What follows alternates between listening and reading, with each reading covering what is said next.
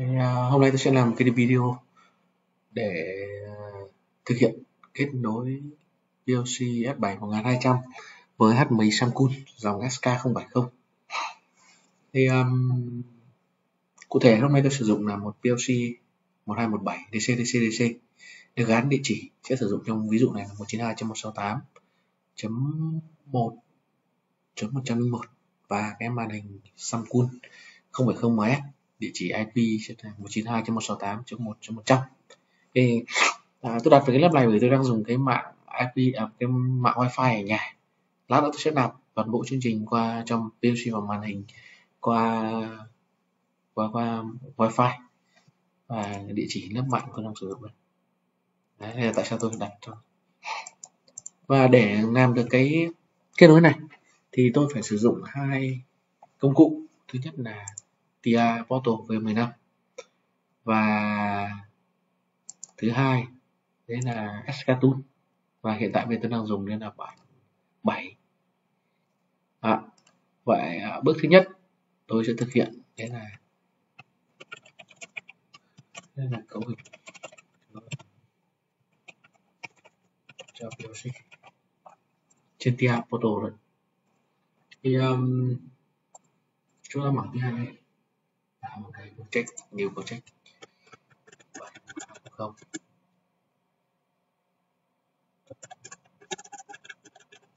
SK không bảy không.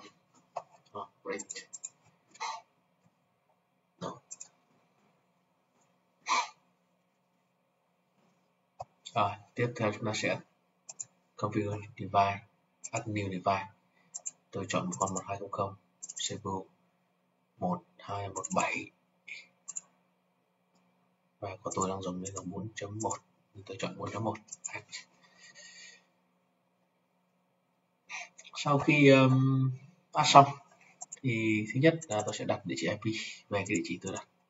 1.101 đây là địa chỉ IP của PLC sau này mình muốn set về đây lưu lại. Cái thứ hai đấy là trong cái uh, protection and security thì chúng ta phải phải kích hoạt cái uh, cho phép này cho phép dữ liệu bootget trong cái cái, cái, cái kết nối cái truyền thông từ cái, cái, đối tượng mà được điều khiển thì tích về.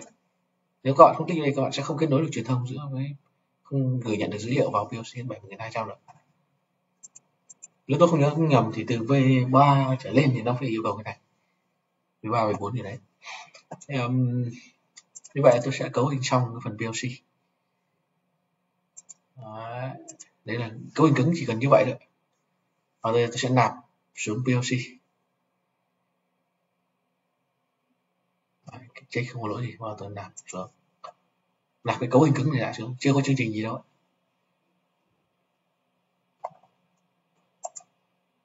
Một file net tôi chọn wifi. Tôi sẽ chọn wifi. Đây. Village search plc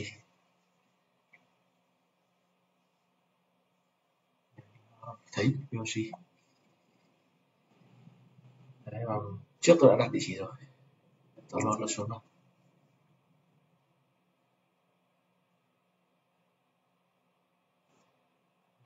awesome Just double.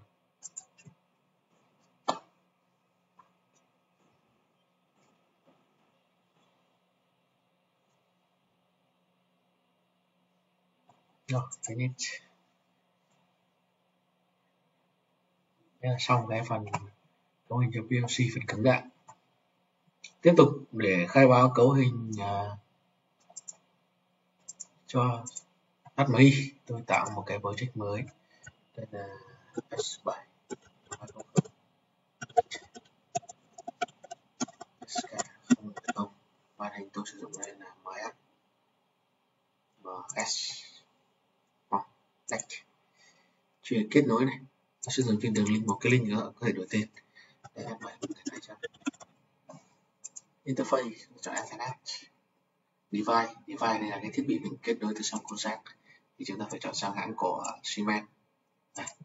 Và cụ thể là chúng ta sẽ dùng con 1200 TCP bấm next những cái này để mặc định thôi không có gì quan trọng thì khi ra như thế này thì uh, chúng ta phải setting tiếp.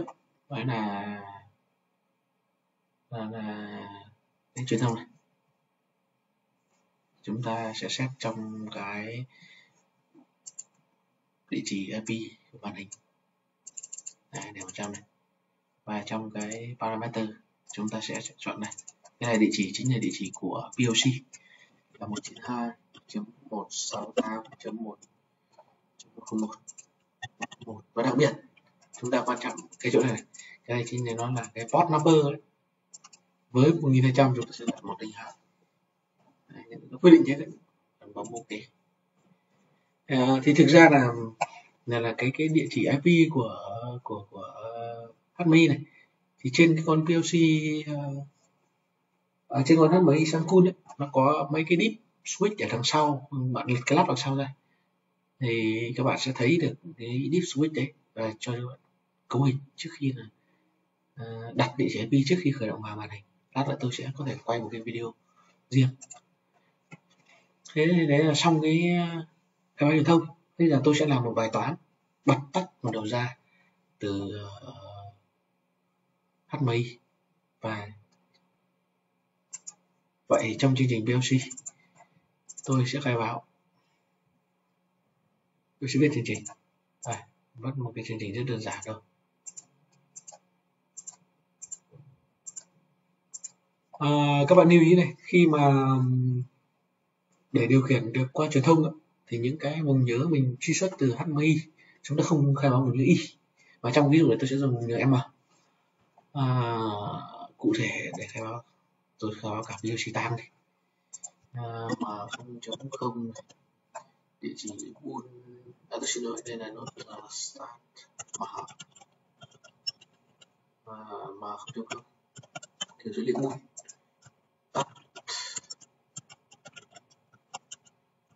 không chấm không một và đèn sẽ đặt quy không đúng không cái này xuất ra đầu ra PLC được đặt quy không đúng không quay lại chương trình PLC thì ở đây tôi sẽ này là nó sẽ là tắt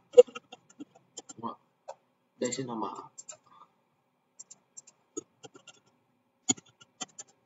đèn đèn đèn đèn đấy thằng này làm các bạn nhìn rõ cho tôi cái địa chỉ. Uh, zoom lên zoom lên cho các bạn nhìn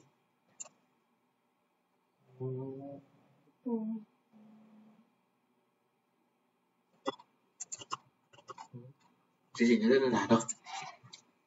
Giờ tôi sẽ nạp vào PLC nạp vào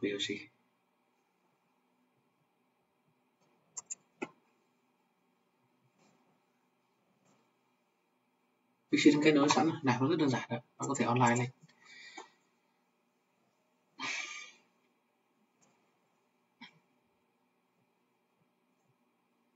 online view trực tiếp lên Đấy, chương trình đã được làm trong PLC rồi. Trạng thái PC đang run này. À, apply nhé lát nữa mình sẽ quay lại thằng này. Bây giờ bên màn hình tôi sẽ thiết kế. Uh, một nút bấm uh, tôi sẽ dùng bit switch bit switch khi bấm xuống sẽ bằng khi ấn xuống press down nó sẽ bằng một nhả lên nó sẽ bằng không đúng không? Và trong này thì ví dụ như là nút uh, không biết được à, không biết được tương tự con dấu trong này thì tôi sẽ làm thế này. Tôi viết thế này tôi copy vào. Vẫn được đó Ờ, liên bên này vậy thôi. Để muốn nó cùng một dạng, đúng không? Và nút tắt thì tôi sẽ để màu ờ, đây là màu viền này. Ờ, màu lên này. Tôi để màu đỏ cho giống nút tắt đi, đúng không? Và địa chỉ, cái, và quan trọng cái địa chỉ này, chúng ta chọn trên FM 1200 vùng nhớ M. M của chúng ta là M 0.1 đấy, để khai báo ok. Vẽ ra đây nút tắt này. Đấy, tương tự tôi có thể copy. Để tạo ra một cái nút là nút bật. Để thẳng hàng cho đẹp chút. Cái nút mở. Mở thì nó cũng không biết được thì tôi sẽ lại viết ở đấy. Chữ mở. Copy sang. Đôi khi là máy nó lỗi phông thì nó sẽ bị như vậy. Đây cả trạng thái không một mình đều dùng là cùng một chữ thì nó dễ. Và nút mở thì dĩ nhiên là mình phải chọn sang màu xanh lá, đấy hoặc cho nó cho nó trực quan. Khi chúng ta chọn đều là màu xanh hết. Để tắt này kiểm tra lại. À đấy tắt này chưa có màu đỏ này. Đấy đấy là xong à còn cái địa chỉ đúng không? Địa chỉ đây nếu mình chỉ sửa lại thôi. Nó lại mà mà không chấm không. Ok chứ nào giống nhau. Tiếp tục đến cái đèn thì đèn thì mình sẽ dùng cái bit làm. À, trong này chúng ta lấy ra. À, chọn hình dáng. Này ví dụ đèn nó thích màu tròn chọn đây. Này. nếu thích nổi hình vuông chọn đây. Đó. tròn chọn đây ok quan trọng này đây là cái bit mà để điều khiển là để để giám sát. Thì tôi lại kích vào nó chọn đến đã bảy gần hai trăm. Và dĩ nhiên tôi đang dùng quy cái đèn là quy không chấm không mà không chấm không. À, đèn tôi sẽ dùng khi nó bằng một với khi sáng màu xanh.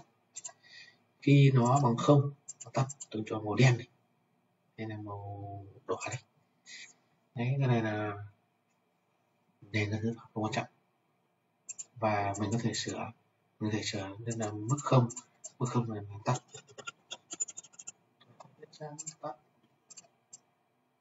để báo cái đèn đang tắt đúng không?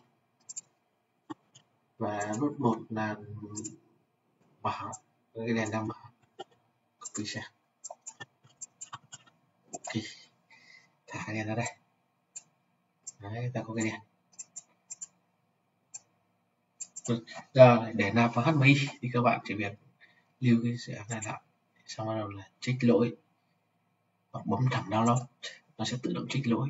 Và ở đây download đây tôi sẽ dùng là qua Ethernet. Địa chỉ IP của màn hình là 192.168.1.1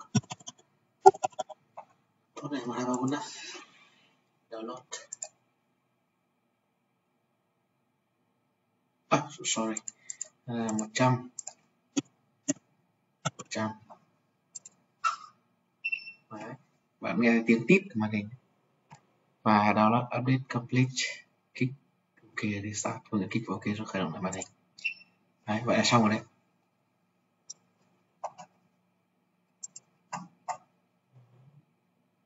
Và chúng ta có thể ấm online simulator trên 1200 đúng không? Ethernet port 1 run đấy à, không kết nối.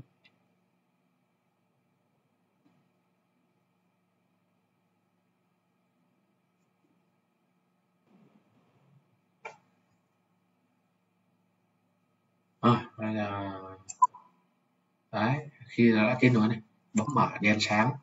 Mà thực tế trên PLC cũng đang sáng. À chúng ta sẽ xem lại cái chương trình PLC này. Này online cái bit này lên đấy, bạn thấy ạ. Đèn sáng này. Mở đèn sáng này. Thì trên cái ngăn tham này của tôi nó cũng sáng. Đấy, bây giờ tôi bấm tắt này. Đấy, tắt đi, đèn tắt. Đi quý không này tắt này. Trên PLC tắt. Có lưu ý các bạn này tôi dùng PLC thật đấy ạ. Chứ không phải là dùng sim nữa. Không có một tí sim ở trên này. Bấm mở này. Đèn sáng lên. Bấm này. đấy, như vậy là chúng ta đã truyền thông được giữa PLC S7 1200 với HDMI Samsung hội có hỗ trợ cổng Profinet hoặc tôi bấm trên màn hình này, các bạn nghe tiếng bíp bíp vì tôi không quay được phim màn hình. Đấy. Họp này. Đấy. vừa kết nối ờ, trên máy tính, vừa kết nối với PLC vừa kết nối màn hình. Để ờ, cho phép chúng ta truyền thông. Từ cái này thì các bạn hoàn toàn có thể là xây dựng những cái ứng dụng của các bạn để điều khiển cho uh, dùng HMI, HMI Samsung điều khiển cho POC 7200 thì uh, các bạn có thể có góp ý gì thì vui lòng gửi email về cho tôi địa chỉ email sau đây để tôi hoàn thiện hơn được cái kỹ năng của mình khi sử dụng với PLC và HMI. chúng ta cùng trao đổi để và cùng tiến bộ. Cảm ơn các bạn.